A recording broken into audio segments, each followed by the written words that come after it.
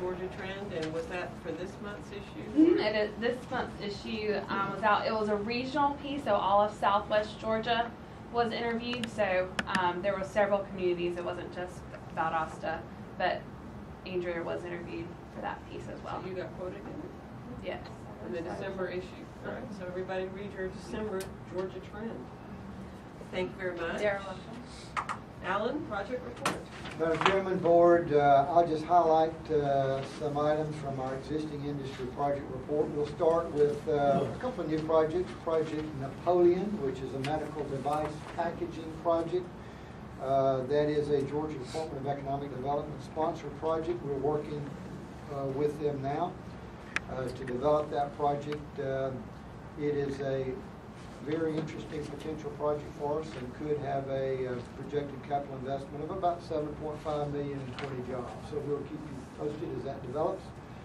Uh, We answered a uh, fairly complex uh, and complete project baseball, which is advanced manufacturing RFP. That again is a Georgia Department of Economic Development sponsored project, which could bring a uh, significant capital investment and number of jobs in the community. We, uh, we sent that RFP off last Thursday, and so it's been received and it's in process. So we'll keep you apprised of that project. Uh, Project Maroon is bioscience. You, you're aware of that project. Uh, It's in progress and on schedule, so I won't say much else about that. Uh, Project Harvest, we've talked about that project before in some depth. It is in progress and on schedule. Uh, I would like to say a few things about Project Express Scripts. That project for this first phase has been completed, created 135 jobs in the community.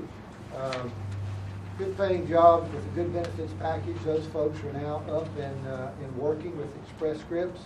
And we've completed the preliminary planning for the next phase of that project, which would begin in May or June of 2014. Working with the Georgia Department of Labor, we would expect uh, approximately another 125 jobs uh, out of that project. So that was a, a very good project. Have And you we've got any feedback on the, the employees that they've gotten, and how it's working and? It's working very well. Uh, They, the company has been uh, very complimentary about uh, the workforce draw from our community and the interest in the project and the caliber of folks that they were able to get. And that's why they want to come back. What, what are the skill levels they're looking for? Um, They are looking for uh, skill levels that uh, have good, um, good contact, good phone skills, good computer skills, and folks that have a flexible work schedule. So that's really the the primary. They basically work from their homes too. Yes, they do work from their homes. They're provided an equipment package to work from their homes. So it's a good project. Um, We'll, you can see the existing industry uh, visit schedule there, uh, the companies that we worked with, as we're always looking to identify issues and help them resolve issues, or look for opportunities for growth and expansion. Uh, We'll just highlight a couple of those. Project Wire, of which you are familiar with that project, it's in progress and on schedule. Uh, I would tell you that Project Treadway is in progress and on schedule. Mr. Gupton and I have worked uh, this past week on an economic development agreement and indenture of lease for that project. Uh, We've worked the real and personal property tax reduction schedule with the tax assessors. You have all been through the project, uh, so we'll be ready to bring you some documentation for final review and approval in January for that project. Um, Project Power Tech, um, Mr. Gupton and I have also worked with the company this past couple of weeks, uh, developing a personal property tax or reduction schedule for personal property that could be uh, installed to support that project. It's about a two million dollar capital investment and some good job growth.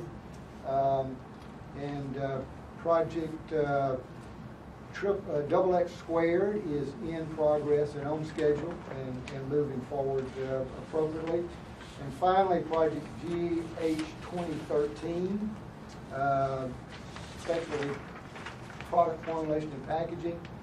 Uh, we've completed the initial work on the economic development agreement and the indenture of lease, discussions with the uh, tax assessor's office on real and personal property tax reduction. So we'll be bringing that to you in January for final review and approval, so that project is, is moving along nicely.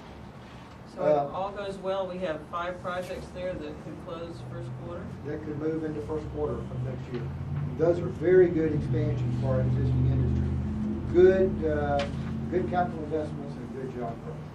And I'll kind of build upon Alan's report. You know, Alan usually has um, more industry visits, but he's been inundated with working on these projects. So um, that's a, you know, we want to keep, we keep in touch with our existing industries, but the project activity has picked up. So therefore, you know, we're keeping up and maximized a lot of his time between existing industries and projects. So. And we'll do two more existing industry visits this week, so that's, uh, that'll give us five. But several of these projects are in fact also existing industries, so Yes. they, Yes, we can absolutely. kind of double count.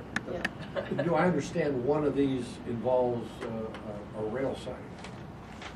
Uh, yes, one of these involves a risk. Yeah, good. Okay. Um, We'll move on to our community business and industry partnership. Um, And I'd just like to mention to you that uh, our next event will be uh, the Georgia Logistics Summit. This is just a little visual here to highlight that. We're planning uh, for attendance and sponsorship with our local logistics and distribution industries to this event on March the 18th and 19th. It is a world-class event, and it is a great opportunity for, uh, for our local logistics distribution businesses. Um, Let me also mention business park signage. You saw this picture at our board meeting in November. I show it to you again to tell you that uh, the marquee signage you see on the left is now installed in all of our parks except for one, and that is in Lake Park. And we have selected a better location uh, for the signage there, and we're doing a little bit of clearing with our landscape folks to make sure that it has a good prominent visual location when we put it there. Uh, We anticipate that that final marquee sign will be up by mid-January. And then the signage you see on the, uh, on the right, which is the industrial property available signage, those are now being fabricated, and those are the companion signs to the marquee sign. So you will now see those, uh, and the other signs that are in the park, you will see those come down. So that's uh, where we are with our park signage. They really look good, if you haven't had an opportunity to take a look at them. Um,